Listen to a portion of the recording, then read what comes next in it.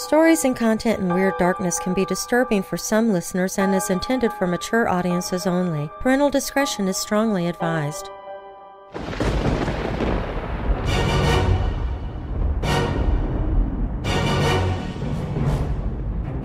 Welcome, Weirdos! I'm Darren Marlar, and this is Weird Darkness. Here you'll find stories of the paranormal, supernatural, legends, lore, the strange and bizarre, crime, conspiracy, mysterious, macabre, unsolved, and unexplained. Coming up in this episode, it's a story by Stanley Ellin called The Moment of Decision. Stanley Ellin was an American mystery writer. While his novels are acclaimed, he's best known for his short stories. In May 1948, his first sale and one of Ellin's most famous short stories, The Specialty of the House, appeared in Ellery Queen's Mystery Magazine. In the years to come, Ellin's fame as an author grew. He was awarded three Edgar Allan Poe Awards, several episodes of Alfred Hitchcock Presents were based on Ellin's short stories, and while this story was presented to Alfred Hitchcock for the TV show, and while Hitchcock loved this story, the network wouldn't allow it. It was too dark for network television at the time. So when Alfred Hitchcock later published numerous anthology books with stories that he was not allowed to use on television, this story was included. In The Moment of Decision by Stanley Ellin, two men of very different character, different ways of viewing the world, challenge one another over the future of a house that each values in his own way. A bet is made. The stakes are unexpectedly raised and, in the end, well, Suffice it to say that the story lingers long past the closing line. If you're new here, welcome to the show, and if you're already a member of this weirdo family, please take a moment and invite someone else to listen, and please leave a rating and review in the podcast app you're listening from. Doing these things helps the show to keep growing, and while you're listening, be sure to check out WeirdDarkness.com for merchandise, my newsletter, to connect with me on social media, and more. Now, it's the moment of decision by Stanley Ellin. So bolt your doors, lock your windows, turn off your lights, and come with me into the weird darkness.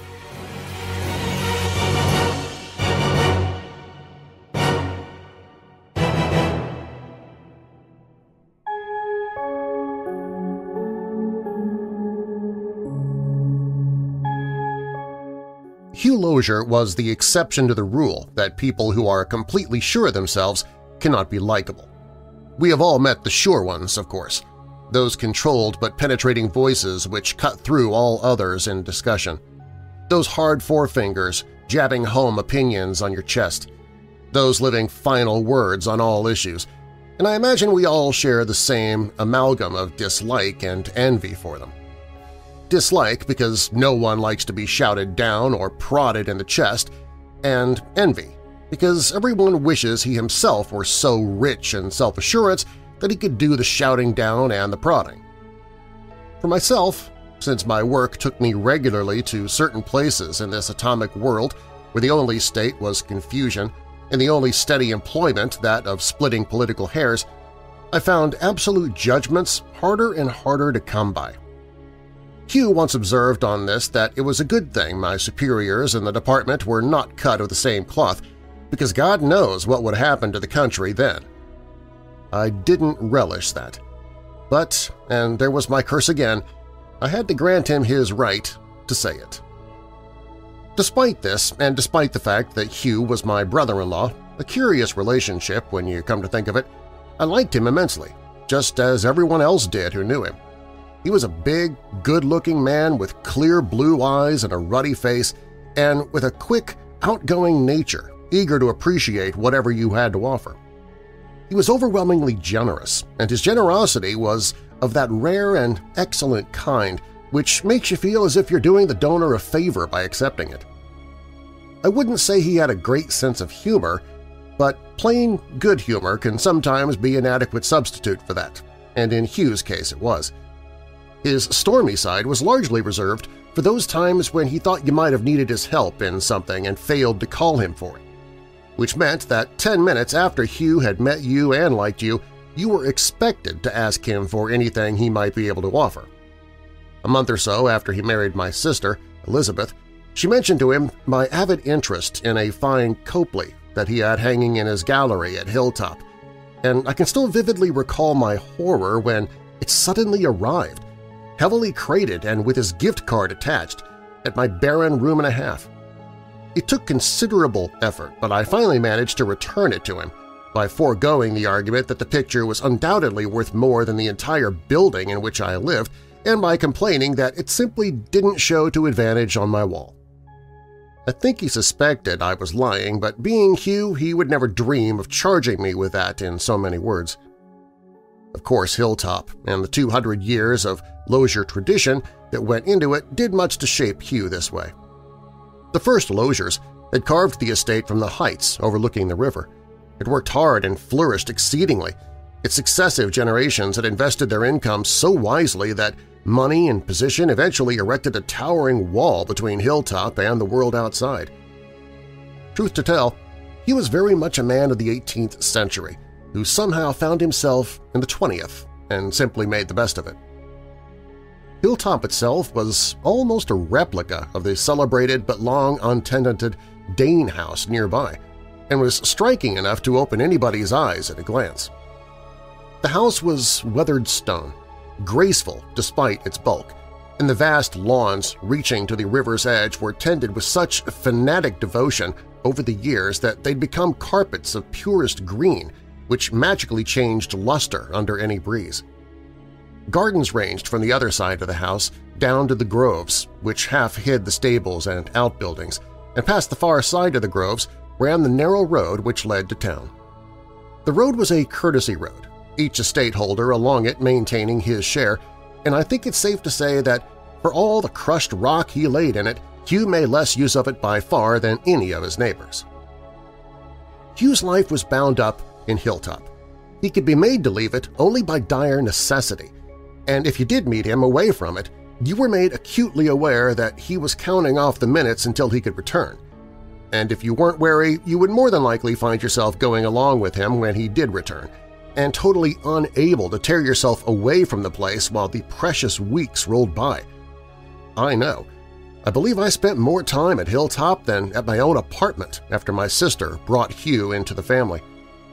At one time, I wondered how Elizabeth took to this marriage, considering that before she met Hugh, she had been as restless and flighty as she was pretty. When I put the question to her directly, she said, "'It's wonderful, darling, just as wonderful as I knew it would be when I first met him.' Turned out that their first meeting had taken place at an art exhibition, a showing of some ultra-modern stuff, and she'd been intensely studying one of the more bewildering concoctions on display when she became aware of this tall, good-looking man staring at her. And, as she put it, she had been about to set him properly in his place when he said abruptly, "'Are you admiring that?' This was so unlike what she had expected that she was taken completely aback. "'I don't know,' she said weakly. "'Am I supposed to?' "'No,' said the stranger. "'It's damned nonsense. Come along now, and I'll show you something which isn't a waste of time. And, Elizabeth said to me, I came along like a pup at his heels, while he marched up and down and told me what was good and what was bad, and in a good loud voice, too, so that we collected quite a crowd along the way. Can you picture it, darling? Yes, I said, I can. By now I had shared similar occasions with Hugh and learned at first hand that nothing could dent his cast-iron assurance. Well, Elizabeth went on, I must admit that at first I was a little put off, but then I began to see that he knew exactly what he was talking about and that he was terribly sincere, not a bit self-conscious about anything, but just eager for me to understand things the way he did. It's the same way with everything. Everybody else in the world is always fumbling and bumbling over deciding anything, what to order for dinner or how to manage his job or whom to vote for, but Hugh always knows. It's not knowing that makes for all of those nerves and complexes and things you hear about, isn't that so? Well, I'll take Hugh, thank you, and leave everyone else to the psychiatrists. So there it was. An Eden with flawless lawns and no awful nerves and complexes, and not even the glimmer of a serpent in the offing. That is, not a glimmer until the day Raymond made his entrance on the scene. We were out on the terrace that day, Hugh and Elizabeth and I, slowly being melted into a sort of liquid torpor by the August sunshine, and all of us too far gone to make even a pretense at talk. I lay there with a linen cap over my face, listening to the summer noises around me and being perfectly happy. There was the low, steady hiss of the breeze through the aspens nearby, the plash and drip of oars on the river below, and now and then the melancholy tink-tunk of a sheep bell from one of the flock on the lawn. The flock was a fancy of Hugh's. He swore that nothing was better for a lawn than a few sheep grazing on it, and every summer five or six fat, sleepy ewes were turned out on the grass to serve this purpose and to add a pleasantly pastoral note to the view. My first warning of something amiss came from the sheep, from the sudden sound of their bells clanging wildly and then a bawing which suggested an assault by a whole pack of wolves. I heard Hugh say, Damn! loudly and angrily, and I opened my eyes to see something more incongruous than wolves. It was a large black poodle in the full glory of a clownish haircut, a bright red collar, and an ecstasy of high spirits as he chased the frightened sheep around the lawn. It was clear the poodle had no intentions of hurting them. He probably found them the most wonderful playmates imaginable, but it was just as clear that the panicky ewes didn't understand this and would very likely end up in the river before the fun was over. In the bare second it took me to see all of this, Hugh had already leaped the low terrace wall and was among the sheep, herding them away from the water's edge and shouting commands at the dog who had different ideas. "'Down, boy!' he yelled. "'Down!' And then, as he would to one of his own hounds, he sternly commanded, "'Heel!' He would have done better, I thought, to have picked up a stick or stone and made a threatening gesture, since the pool paid no attention whatsoever to Hugh's words. Instead, continuing to bark happily, the poodle made for the sheep again, this time with Hugh in futile pursuit. An instant later, the dog was frozen into immobility by a voice from among the aspens near the edge of the lawn. "Assez!" the voice called breathlessly. "Assez toy!" Then the man appeared, small, dapper figure trotting across the grass. Hugh stood waiting, his face darkening as he watched. Elizabeth squeezed my arm. "'Let's get down there,' she whispered. "'Hugh doesn't like being made a fool of.' We got there in time to hear Hugh open his big guns. "'Any man,' he was saying, "'who doesn't know how to train an animal to its place should own one.' The man's face was all polite attention. It was a good face, thin and intelligent, and webbed with tiny lines at the corner of the eyes. There was also something behind those eyes that couldn't quite be masked, a gentle mockery, a glint of wry perception turned on the world like a camera lens. It was nothing anyone like Hugh would have noticed, but it was there all the same, and I found myself warming to it on the spot. There was also something tantalizingly familiar about the newcomer's face. His high forehead, and his thinning gray hair, but much as I dug into my memory during Hugh's long and solemn lecture, I couldn't come up with an answer. The lecture ended with a few remarks on the best methods of dog training, and by then it was clear that Hugh was working himself into a mood of forgiveness. "'As long as there's no harm done,' he said. The man nodded soberly. "'Still, to get off on the wrong foot with one's own neighbors.' Hugh looked startled. "'Neighbors?' He said, almost rudely. You mean that you live around here? The man waved toward the aspens. On the other side of those woods. The Dane House? The Dane House was almost as sacred to Hugh as Hilltop, and he had once explained to me that if he were ever offered a chance to buy the place, he would snap it up. His tone now was not so much wounded as incredulous. "'I don't believe it!' he exclaimed. "'Oh, yes,' the man assured him. "'The Dane House. I performed there at a party many years ago and always hoped that someday I might own it. It was the word performed which gave me my clue. That and the accent barely perceptible under the precise English. He had been born and raised in Marseille. That would explain the accent, and long before my time he had already become a legend. "'You're Raymond, aren't you?' I said. Uh, "'Charles Raymond.' I prefer Raymond alone. He smiled in deprecation of his own small vanity and I am flattered that you recognize me. I don't believe he really was. Raymond the Magician, Raymond the Great, would, if anything, accept to be recognized wherever he went. As the master of sleight of hand who had paled Thurston's star, as the escape artist who had almost outshone Houdini, Raymond would not be inclined to underestimate himself. He had started with the standard box of tricks which makes up the repertoire of most professional magicians. He had gone far beyond that to those feats of escape which I suppose are known to us all by now. The lead casket sealed under a foot of lake ice, the welded steel straitjackets, the vaults of the Bank of England, the exquisite suicide knot which nooses throat and doubles legs together so that the motion of a leg draws the noose tighter around the throat. All these Raymond had known and escaped from. And then, at the pinnacle of fame, he had dropped from sight, and his name had become relegated to the past.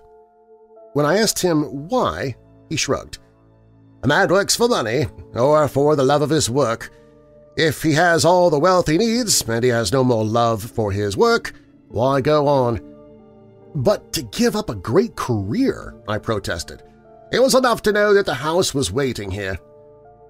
You mean, Elizabeth said, that you never intended to live any place but here? Never, not once in all these years. He laid a finger along his nose and winked broadly at us. Of course, I made no secret of this to the Dane estate, and when the time came to sell, I was the first and only one approached. You don't give up an idea easily, Hugh said in an edged voice. Raymond laughed. Idea? It's become an obsession, really. Over the years I traveled to many parts of the world, but no matter how fine the place, I knew it could not be as fine as that house on the edge of the woods there, with the river at its feet and the hills beyond. Some day I would tell myself when my travels are done, I will come here, and, like Candide, cultivate my garden. He ran his hand abstractly over the poodle's head and looked around us with an air of great satisfaction. "'And now,' he said, "'here I am.' Here he was, indeed, and it quickly became clear that his arrival was working a change on Hilltop. Or, since Hilltop was so completely a reflection of Hugh, it was clear that a change was being worked on Hugh. He became irritable and restless, and more aggressively sure of himself than ever. The warmth and good nature were still there, they were as much a part of him as his arrogance, but he now had to work a little harder at them. He reminded me of a man who is bothered by a speck in his eye but can't find it, and must get along with it as best he can. Raymond, of course, was the speck, and I got the impression at times that he rather enjoyed the role. It would have been easy enough for him to stay close to his own house and cultivate his garden, or paste up his album or whatever retired performers do, but he evidently found that impossible. He had a way of drifting over to Hilltop at odd times, just as Hugh was led to find his way to the Dane house and spend long and troublesome sessions there. Both of them must have known that they were so badly suited to each other that the easy and logical solution would have been to stay apart, but they had the affinity of negative and positive forces – and when they were in a room together, the crackling of the antagonistic current between them was so strong you could almost see it in the air. Any subject became a point of contention for them, and they would duel over it bitterly. Hugh armored and weaponed with his massive assurance, Raymond flicking away with a rapier trying to find a chink in the armor. I think what annoyed Raymond most was the discovery that there was no chink in the armor. As someone with an obvious passion for searching out all sides to all questions and for going deep into motives and causes, he was continually being outraged by Hugh's single-minded way of laying down the law. He didn't hesitate to let Hugh know that. "'You are positively medieval,' he said, "'and of all things men should have learned since that time, the biggest is that there are no easy answers, no solution one can give with a snap of the fingers. I can only hope for you that someday you may be faced with the perfect dilemma, an unanswerable question. You'd find that a revelation.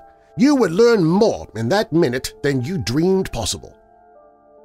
And Hugh did not make matters any better when he coldly answered, And I say that for any man with a brain and the courage to use it, there is no such thing as a perfect dilemma. It may be that this was the sort of episode that led to the trouble that followed.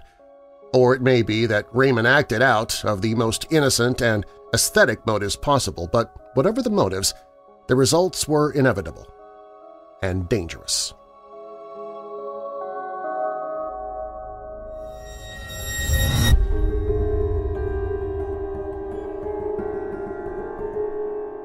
We'll have more of our story, The Moment of Decision by Stanley Ellin, when Weird Darkness returns.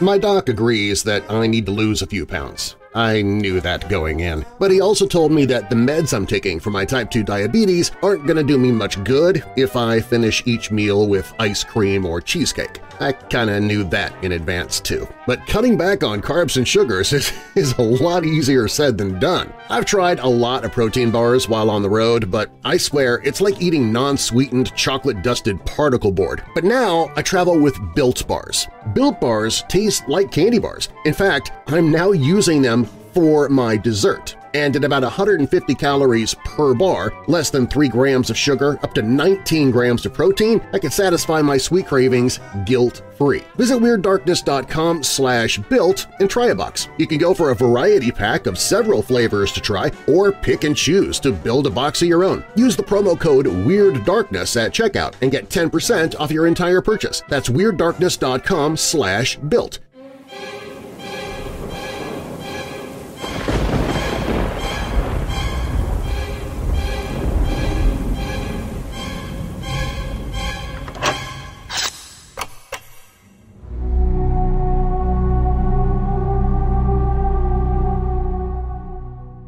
They grew from the project Raymond outlined for us in great detail one afternoon.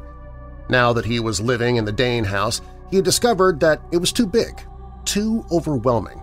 Like a museum, he explained, I find myself wandering through it, like a lost soul through endless galleries. The grounds also needed landscaping. The ancient trees were handsome, but, as Raymond put it, there were just too many of them. Literally, he said, I cannot see the river for the trees, and I'm one devoted to the sight of running water. Although there would be drastic changes, two wings of the house would come down, the trees would be cleared away to make a broad aisle to the water, the whole place would be enlivened. It would no longer be a museum, but the perfect home that he'd envisioned over the years. At the start of this recitative, Hugh was slouched comfortably in his chair. Then, as Raymond drew the vivid picture of what was to be, Hugh sat up straighter and straighter until he was as rigid as a trooper in the saddle. His lips compressed, his face became blood red, his hands clenched and unclenched in a slow, deadly rhythm. Only a miracle was restraining him from an open outburst, but it was not the kind of miracle to last. I saw from Elizabeth's expression that she understood this too, but was as helpless as I to do anything about it. And when Raymond, after painting the last glowing strokes of his description, said complacently, Well now, what do you think? There was no holding Hugh. He leaned forward with deliberation and said, Do you really want to know what I think? Now, Hugh, Elizabeth said in alarm, please, Hugh. He brushed that aside. Do you really want to know? he demanded of Raymond. Raymond frowned. Of course. Then I'll tell you, Hugh said. He took a deep breath. I think that nobody but a damned iconoclast could even conceive the atrocity you're proposing. I think you're one of those people who take pleasure in smashing apart anything that's stamped with tradition or stability. You'd kick the props from under the whole world if you could. I beg your pardon, Raymond said. He was very pale and angry, but I think you're confusing change with destruction. Surely you must comprehend that I do not intend to destroy anything, but only wish to make some necessary changes. Necessary? Hugh gibed. Rooting up a fine stand of trees that's been there for centuries? Ripping apart a house that's as solid as a rock? I call it wanton destruction. I'm afraid I do not understand. To refresh a scene, to reshape it. I have no intention of arguing, you cut in. I'm telling you straight out that you don't have the right to tamper with that property. They were on their feet now, facing each other, and the only thing that kept me from being really frightened was the conviction that Hugh would not become violent and that Raymond was far too level-headed to lose his temper. Then the threatening moment was magically past. Raymond's lips suddenly quirked in amusement, and he studied Hugh with courteous interest. "'I see,' he said. "'I was quite stupid not to have understood at once.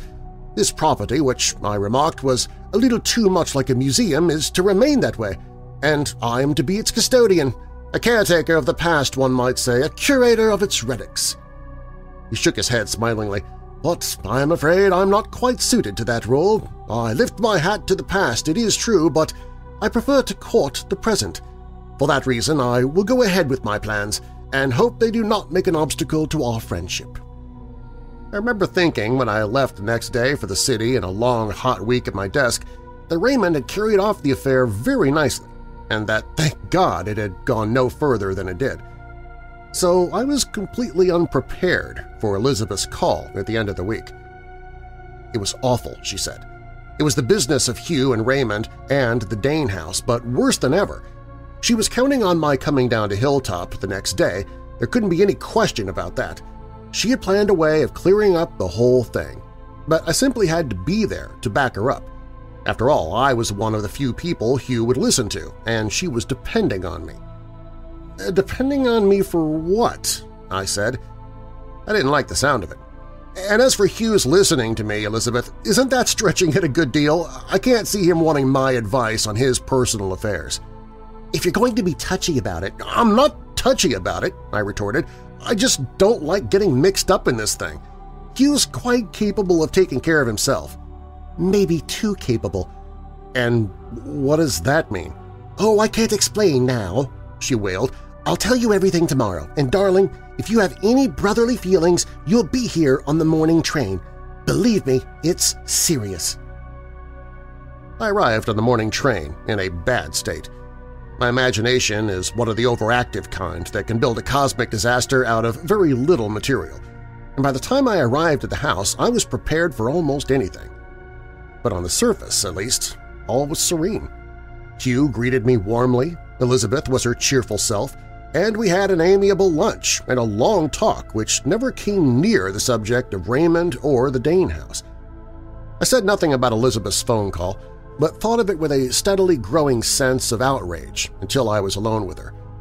Now, I said, I'd like an explanation of all of this mystery. The Lord knows what I expected to find out here, but it certainly wasn't anything I've seen so far. And I'd like some accounting for the bad time you've been giving me since that call. All right, she said grimly, and that's what you'll get. Come along. She led the way on a long walk through the gardens and past the stables and outbuildings. Near the private road which lay beyond the last grove of trees, she suddenly said, When the car drove you up to the house, didn't you notice anything strange about this road? No, I didn't. I suppose not. The driveway to the house turns off too far from here, but now you'll have a chance to see for yourself. I did see for myself. A chair was set squarely in the middle of the road, and on the chair sat a stout man placidly reading a magazine. I recognized the man at once. He was one of Hugh's stable hands, and he had the patient look of someone who had been sitting for a long time and expects to sit a good deal longer. It took me only a second to realize what he was there for. But Elizabeth wasn't leaving anything to my deductive powers. When we walked over to him, the man stood up and grinned at us. "'William,' Elizabeth said, "'would you mind telling my brother what instructions Mr. Lozier gave you?' "'Sure,' the man said cheerfully. "'Mr. Lozier told us that there's always supposed to be one of us sitting right here, and any truck we saw that might be carrying construction stuff or such like for the Dane house was to be stopped and turned back. All we had to do is tell them it's private property and they were trespassing. If they laid a finger on us, we just call in the police. That's the whole thing. Have you turned back any trucks? Elizabeth asked for my benefit. The man looked surprised. Why, you know that, Mrs. Lozier, he said. There's a couple of them the first day we were out here, and that was all. There wasn't any fuss either, he explained to me. None of those drivers want a monkey with trespass. When we were away from the road again, I clapped my hand to my forehead. It's incredible, I said. Hugh must know he can't get away with this. That road is the only one to the Dane place, and it's been in public use so long that it isn't even a private thoroughfare anymore. Elizabeth nodded, and that's exactly what Raymond told Hugh a few days back. He came over here in a fury, and they had quite an argument about it. And when Raymond said something about hauling Hugh off to court, Hugh answered that he'd be glad to spend the rest of his life in litigation over this business. But that wasn't the worst of it. The last thing Raymond said was that Hugh ought to know that force only invites force, and ever since then I've been expecting a war to break out here any minute. Don't you see? That man blocking the road is a constant provocation, and it scares me. I can understand that. And the more I considered the matter, the more dangerous it looked. But I have a plan, Elizabeth said eagerly, and that's why I wanted you here. I'm having a dinner party tonight, a very small, informal dinner party. It's to be a sort of peace conference. You'll be there, and Dr. Wynant. Hugh likes you both a great deal, and, she hesitated, and Raymond. No, I said. You mean, you mean he's actually coming? I went over to see him yesterday, and we had a long talk. I explained everything to him, about neighbors being able to sit down and come to an understanding, and about brotherly love and… Oh, it must have sounded dreadfully inspirational and sticky, but it worked. He said he would be there. I had a foreboding. Does Hugh know about this? About the dinner? Yes. I mean about Raymond's being there. No, he doesn't.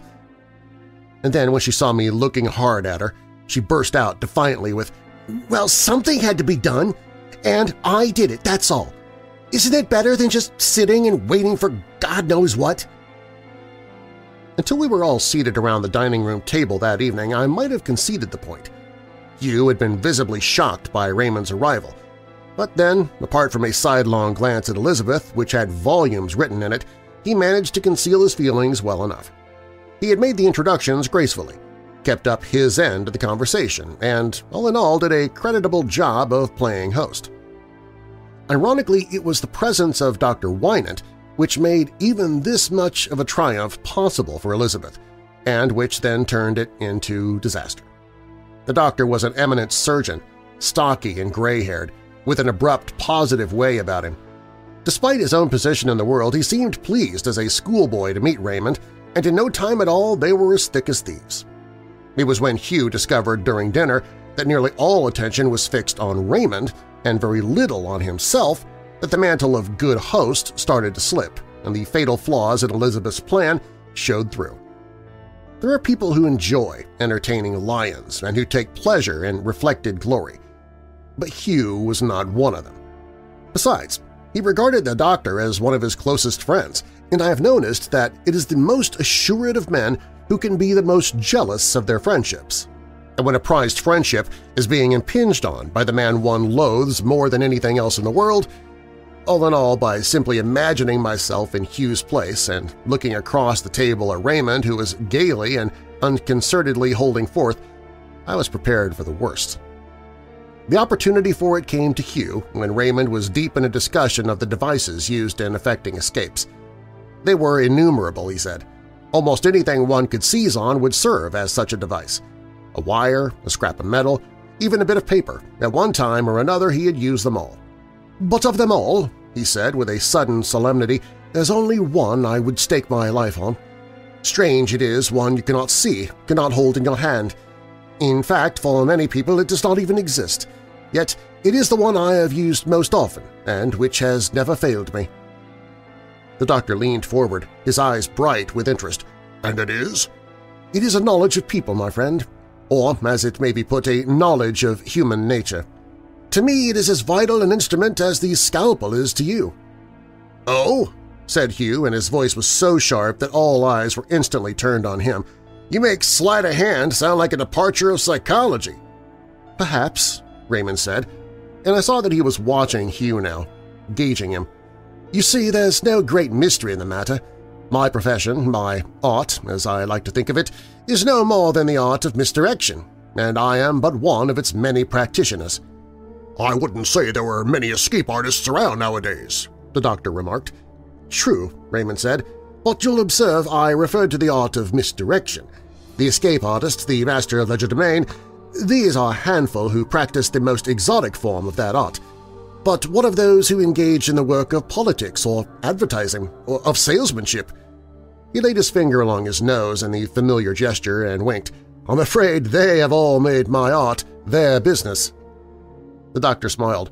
Since you haven't dragged medicine into it, I'm willing to go along with you, he said. But what I want to know is exactly how does this knowledge of human nature work in your profession? In this way, Raymond said. one must judge a person carefully. Then, if he find in that person certain weaknesses, he can state a false premise, and it would be accepted without question. Once the false premise is swallowed, the rest is easy. The victim will then only see what the magician wants him to see, or will give his vote to that politician or will buy merchandise because of that advertising. He shrugged. And that is all there is to it. It is, Hugh said. What happens when you're with people who have some intelligence and won't swallow your false premise? How do you do your tricks then? Or do you keep them on the same level as selling beads to the savages? Now that's uncalled for, Hugh, the doctor said. The man's expressing his ideas, no reason to make an issue of them. Maybe there is, Hugh said, his eyes fixed on Raymond. I found that he's full of interesting ideas. I was wondering how far he'd want to go in backing them up. Raymond touched the napkin to his lips with a precise little flick and then laid it carefully on the table before him. In short, he said, addressing himself to Hugh, you want a small demonstration of my art. It depends, Hugh said. I don't want any trick cigarette cases or rabbits out of hats or any damn nonsense like that. I'd like to see something good. Something good, echoed Raymond reflectively. He looked around the room, studied it, and then turned to Hugh, pointing toward the huge oak door which was closed between the dining room and the living room where we had gathered before dinner. That door's not locked, is it? No, Hugh said. It isn't. It hasn't been locked for years. But there is a key to it. Hugh pulled out his keychain and, with an effort, detached a heavy, old-fashioned key. Yes, it's the same one we use for the butler's pantry. He was becoming interested despite himself. Good. No, do not give it to me. Give it to the doctor. You have faith in the doctor's honor, I'm sure. Yes, said Hugh dryly. I have. Very well. Now, doctor, will you please go to that door and lock it? The doctor marched to the door with his firm, decisive tread, thrust the key into the lock, and turned it. The click of the bolt snapping into place was loud in the silence of the room. The doctor returned to the table holding the key, but Raymond motioned it away. It must not leave your hand or everything is lost, he warned. Now, Raymond said, for the finale I approach the door. I flick my handkerchief at it. The handkerchief barely brushed the keyhole, and presto, the door is unlocked. The doctor went to it. He seized the doorknob, twisted it dubiously, and then watched with genuine astonishment as the door swung silently open. Well, I'll be damned, he said. Somehow, Elizabeth laughed, a false premise went down easy as an oyster. Only Hugh reflected a sense of personal outrage. All right, he demanded. How was it done? How'd you work it? I, Raymond said reproachfully and smiled at all of us with obvious enjoyment. It was you who did it all. I only used my little knowledge of human nature to help you along the way. I said, I can guess part of it. That door was set in advance, and when the doctor thought that he was locking it, he wasn't. He was really unlocking it. Isn't that the answer? Raymond nodded. Very much the answer. The door was locked in advance. I made sure of that, because with a little forethought I suspected there'd be such a challenge during the evening, and this was the simplest way of preparing for it. I merely made certain that I was the last one to enter this room, and when I did, I used this. He held up his hand so that we could see the silver of metal in it. An ordinary skeleton key, of course, but sufficient for an old and primitive lock. For a moment, Raymond looked grave. Then he continued brightly. It was our host himself who stated the false premise when he said the door was unlocked. He was a man so sure of himself that he would not think to test anything so obvious. The doctor is also a man who is sure, and he fell into the same trap. It is, as you now see, a little dangerous always to be so sure. I'll go along with that, the doctor said ruefully, even though it's heresy to admit it in my line of work. He playfully tossed the key that he'd been holding across the table to Hugh, who let it fall in front of him and made no gesture toward it. Well, Hugh, like it or not, you must admit the man has proved his point. Do I? said Hugh softly. He sat there smiling a little now, and it was easy to see that he was turning some thoughts over and over in his head. Oh, come on now, man, the doctor said with some impatience. You were taken in as much as we were. You know that. Of course you were, darling, Elizabeth agreed. I think that she suddenly saw her opportunity to turn the proceedings into the peace conference she had aimed at. but I could have told her that she was choosing her time badly. There was a look in Hugh's eye I did not like, a veiled look which wasn't natural to him. Ordinarily, when he was really angered, he'd blow up a violent storm, and once the thunder and lightning had passed, he'd honestly be apologetic. But this present mood of his was different. There was a slumberous quality in it which alarmed me. He hooked one arm over the back of his chair and rested the other one on the table, sitting halfway around to fix his eyes on Raymond. I seem to be a minority of one, he remarked, but I'm sorry to say I found your little trick disappointing. Not that it wasn't cleverly done, I'll grant you that, all right, but well, because it wasn't any more than you'd expect from a competent locksmith. Now there's a large helping of sour grapes, the doctor jeered. Hugh shook his head. No, I'm simply saying that where there is a lock on a door and a key to it in your hand, it's no great trick to open it. Considering our friend's reputation, I thought we'd see more from him than that. Raymond grimaced. Since I'd hoped to entertain, he said, I must apologize for disappointing. Oh, and as far as entertaining goes, I have no complaints, but for a real test… A real test? Yes, something a little different. Let's say a door without any locks or keys to tamper with. A closed door which can be opened with a fingertip but which is nevertheless impossible to open. How's that sound to you? Raymond narrowed his eyes thoughtfully, as if he were considering the picture being presented to him. "'It sounds most interesting,' he said at last. Uh, "'Tell me more about it.' "'No,' Hugh said, and from the sudden eagerness in his voice I felt this was the exact moment he'd been looking for. "'I'll do better than that. I'll show it to you.' He stood up, brusquely, and the rest of us followed suit, except Elizabeth, who remained in her seat, when I asked her if she wanted to come along, she only shook her head and sat there watching us, hopelessly, as we left the room.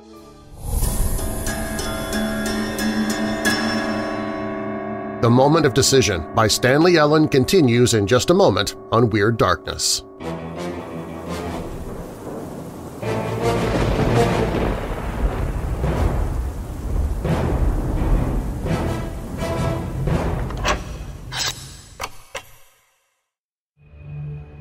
What kind of person does it take to build a civilization from the ground up? Astronaut Nick Burke will have to learn how to be a leader if he wants humanity to survive on a new planet, even if he himself is no longer human. Nick Burke dreams of successfully creating the first sustainable space colony in human history. After a third failed mission on Mars, Nick returns to Earth heartbroken. But during the trip home, he has an epiphany caused by a near-death experience on how to truly accomplish his dream. Nick launches a billionaire-funded startup company that solves the interstellar travel problem, transporting people in a spaceship without any people aboard.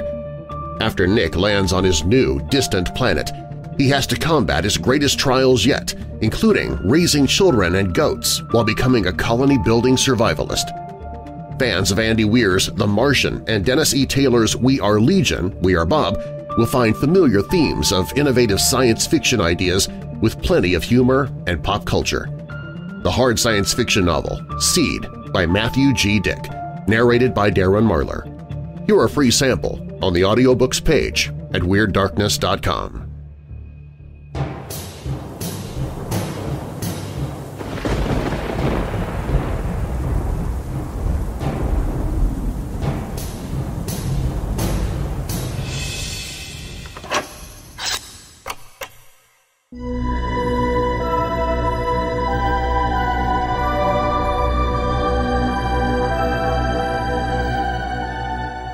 were bound for the cellars. I realized when Hugh picked up a flashlight along the way, but for a part of the cellars I had never seen before. On a few occasions I'd gone downstairs to help select a bottle of wine from the racks there, but now we walked past the wine vault and into a long, dimly lit chamber behind it. Our feet scraped loudly on the rough stone, the walls around us showed the stain of seepage, and warm as the night was outside. I could feel the chill of dampness turning my chest to gooseflesh. When the doctor shuddered and said hollowly, "'These are the very tombs of Atlantis,' I knew I wasn't alone in my feeling and felt some relief at that. We stopped at the very end of the chamber, before what I can best describe as a stone closet built from floor to ceiling in the farthest angle of the walls. It was about four feet wide and not quite twice that in length, and its open doorway showed impenetrable blackness inside. Hugh reached into the blackness and pulled a heavy door into place. "'That's it,' he said abruptly. "'Plain, solid wood four inches thick, fitted flush into the frame so that it's almost airtight. It's a beautiful piece of carpentry, too, the kind they practiced 200 years ago, and no locks or bolts, just a ring set into each side to use as a handle. He pushed the door gently, and it swung open noiselessly at his touch. See that? The whole thing's balanced so perfectly on the hinges that it moves like a feather. But what's it for? I asked. It must have been made for a reason. Hugh laughed shortly. It was.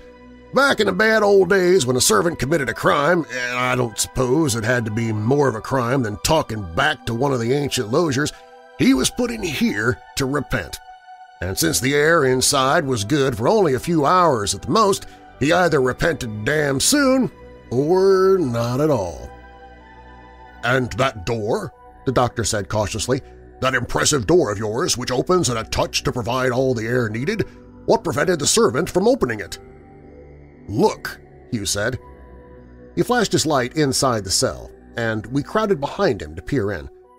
The circle of light reached across the cell to its far wall and picked out a short, heavy chain hanging a little above head level with a U-shaped collar dangling from its bottom link.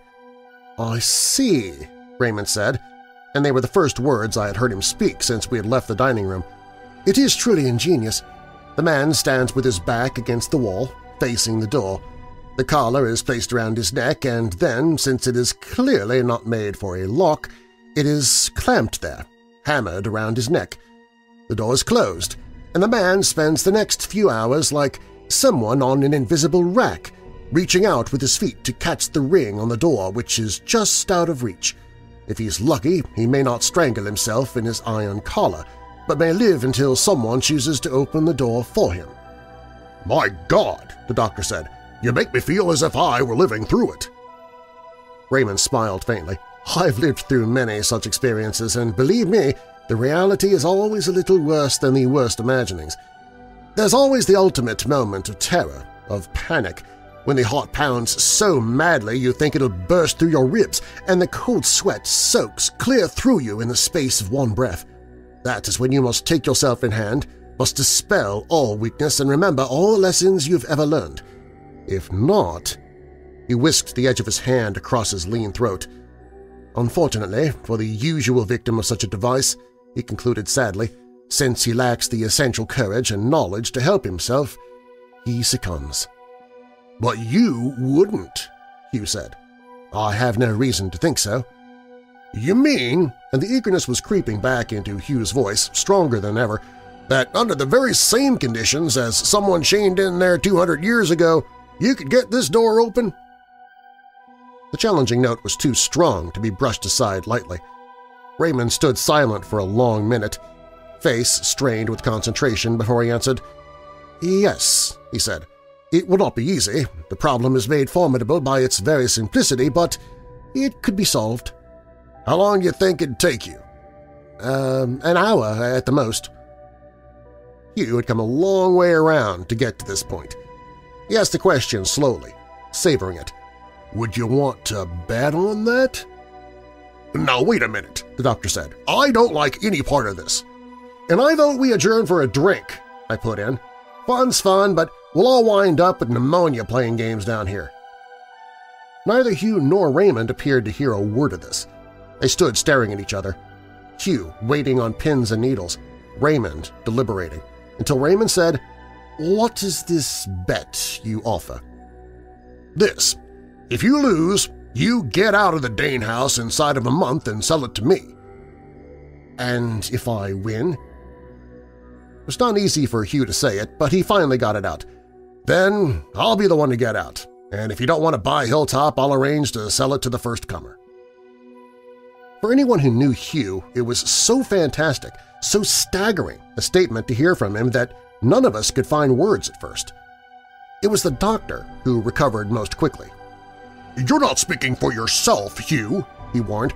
"'You're a married man. Elizabeth's feelings have to be considered. Is that a bet? Hugh demanded of Raymond.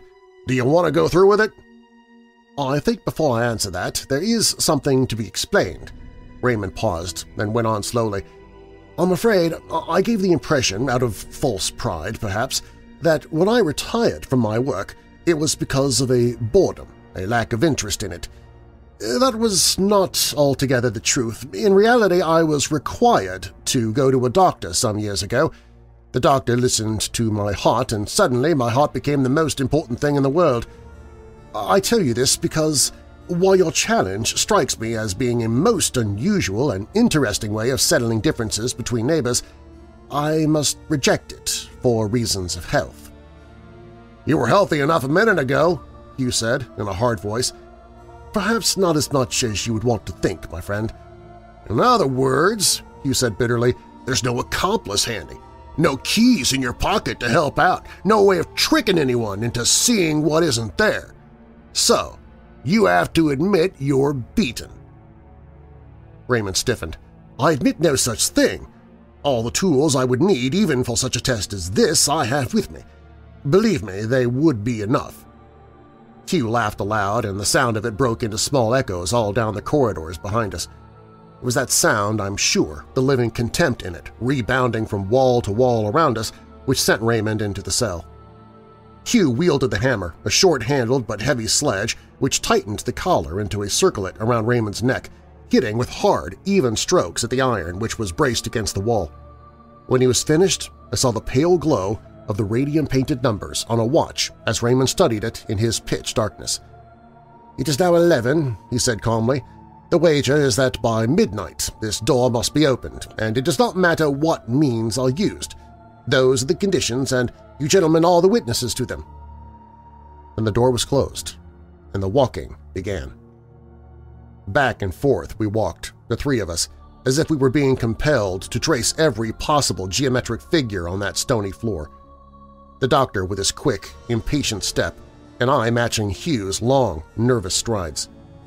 A foolish, meaningless march back and forth across our own shadows, each of us marking the time by counting off the passing seconds, and each ashamed to be the first to look at his watch.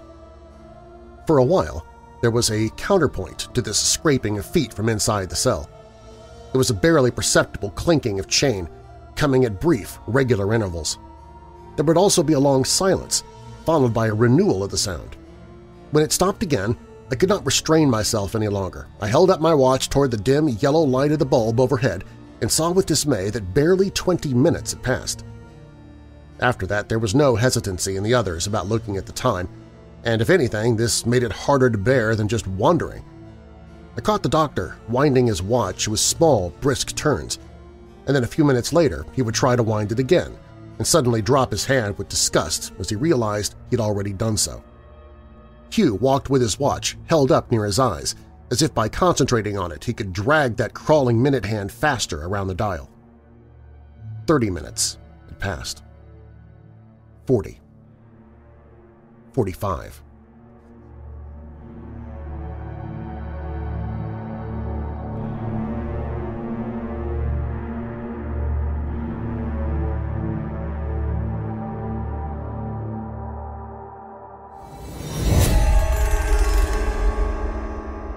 Up next, it's the conclusion to Stanley Ellin's The Moment of Decision when Weird Darkness returns.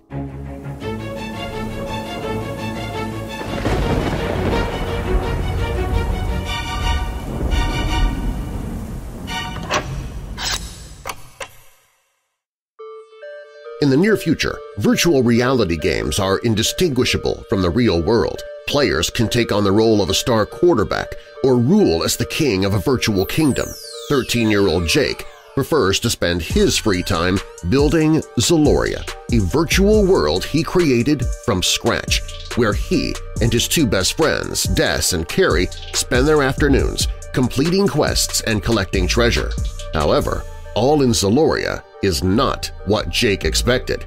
When Jake discovers that the world he built is growing and changing on its own, he and his friends uncover a secret that could change the world forever. Jake and his friends must fight for survival when his virtual world takes on a mind of its own.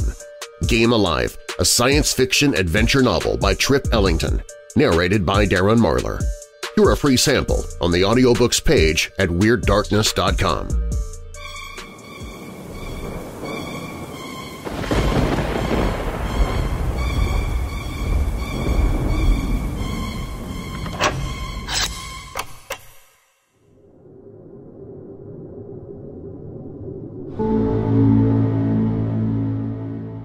remember that when I looked at my watch and saw that there was less than 15 minutes to go, I wondered if I could last out even that short time. The chill had sunk so deep into me that I ached with it. I was shocked when I saw that Hugh's face was dripping with sweat and that beads of it gathered and ran off while I watched.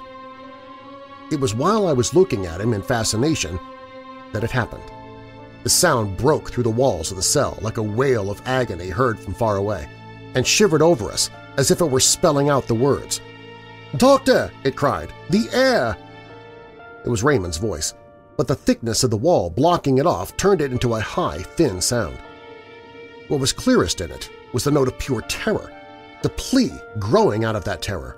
"'Air!' it screamed, the word bubbling and dissolving into a long, drawn-out sound which made no sense at all. And then it was silent. We leaped for the door together, but Hugh was there first, his back against it, barring the way. In his upraised hand was the hammer which had clinched Raymond's collar. "'Keep back!' he cried. "'Don't come any nearer, I warn you!' The fury in him, brought home by the menace of the weapon, stopped us in our tracks. "'Hugh!' the doctor pleaded. "'I know what you're thinking, but you can forget that now. The bet's off, and I'm opening that door on my own responsibility. You have my word for that.' "'Do I? But do you remember the terms of the bet, Doctor? This door must be opened within an hour, and it doesn't matter what means are used. You understand now? He's fooling both of you. He's faking a death scene so that you'll push open the door and win his bet for him. But it's my bet, not yours, and I have the last word on it. I saw from the way he talked, despite the shaking tension in his voice, that he was in perfect command of himself, and it made everything seem that much worse. How do you know he's faking? I demanded. The man said he had a heart condition. He said there was always a time and a spot like this when he had to fight panic and could feel the strain of it. What right do you have to gamble with his life? Damn it, don't you see he never mentioned any heart condition until he smelled a bet in the wind? Don't you see he set his trap that way just as he locked the door behind him when he came in to dinner? But this time nobody'll spring it for him. Nobody! Listen to me, the doctor said, and his voice cracked like a whip. Do you concede that there's one slim possibility of that man being dead in there or dying? Yes, it's possible. Anything's possible. I'm not trying to split hairs with you. I'm telling you that if the man is in trouble, every second counts, and you're stealing that time from him. And if that's the case, by God, I'll sit in the witness chair at your trial and swear you murdered him. Is that what you want? Hugh's head sank forward on his chest, but his hand still tightly gripped the hammer. I could hear the breath drawing heavily in his throat, and when he raised his head, his face was gray and haggard. The torment of indecision was written in every pale, sweating line of it. And then I suddenly understood what Raymond had meant that day when he told Hugh about the revelation he might find in the face of a perfect dilemma. It was the revelation of what a man may learn about himself when he's forced to look down into his own depths, and Hugh had found it at last. In that shadowy cellar, while the relentless seconds thundered louder and louder in our ears, we waited to see what he would do.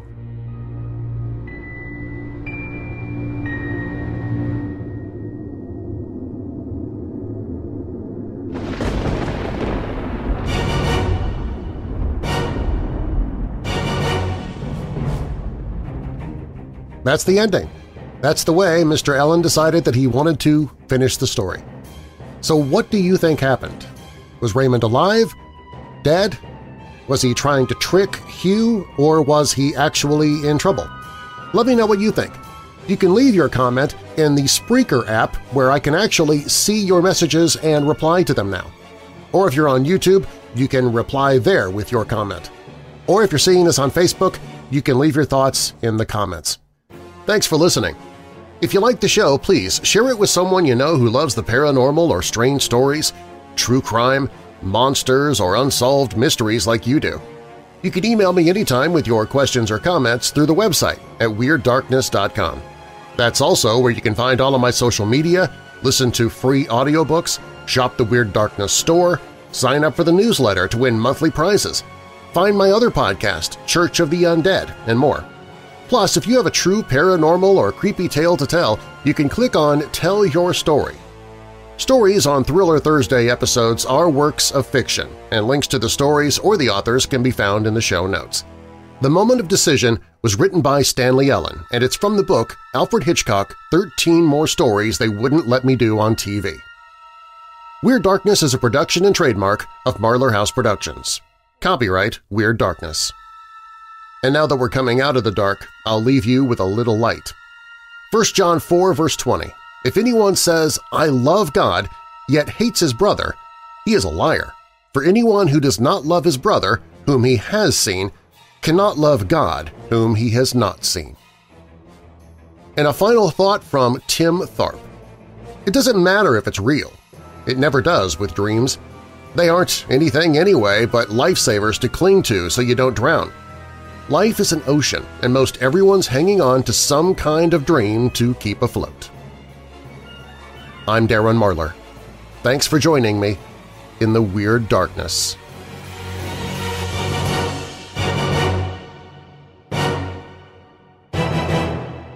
Hey Weirdos! Be sure to click the like button and subscribe to this channel, and click the notification bell so you don't miss future videos. I post videos seven days a week. And while you're at it, spread the darkness by sharing this video with someone you know who loves all things strange and macabre. If you want to listen to the podcast, you can find it at WeirdDarkness.com listen.